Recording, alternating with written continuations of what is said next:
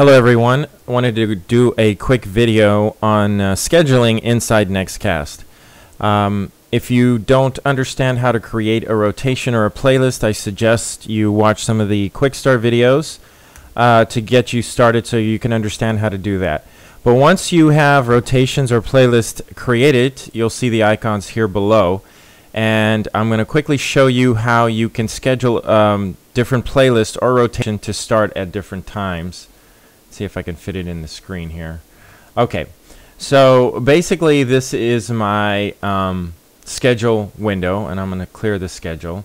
Okay, so it has the days of the week, so you can schedule for a whole uh, whole week, and then you can schedule anywhere from zero hours, which is 1 a.m. Well, 1 a.m. midnight. Zero hours is midnight.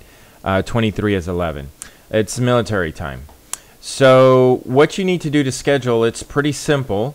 Uh, let's say on Sunday you want to run this RH rotation you just activate the RH uh, icon on top and then you can slowly move across by holding your mouse down.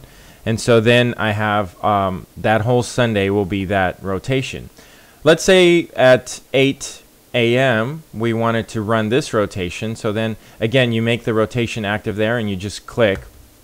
Um, and then let's say 8, 9, and 10, that rotation. Or if I wanted a playlist to play at 11, I can click it there. Now, nextKast also allows you to schedule minutes. And this takes a little bit of thinking here, but let me show you. So let's say at 11 a.m., I click the 11 a.m., but then I go down to here and it shows that Sunday hour 11, the minute schedule is now active. So let's say at 11.03, I want that playlist to start.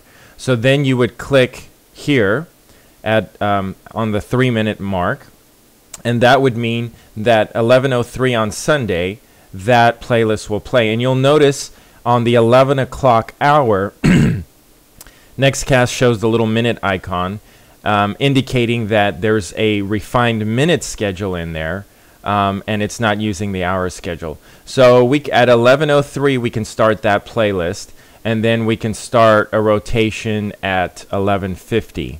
Um, if you don't put anything after uh, it will just wait to see the next event. Um, the last thing about the schedule is you just need to make sure enable scheduled is checked. Um, if it's checked, that would make sure that any schedule that you have set in the schedule window um, will get activated when it needs to. That is the basic overview of scheduling uh, rotations or playlist in nextKast. Um, and I'll just give you one last little tip. if you're using our voice track feature and you have generated your playlist, you'll have folders like these with dates in them. Those do not have to be scheduled.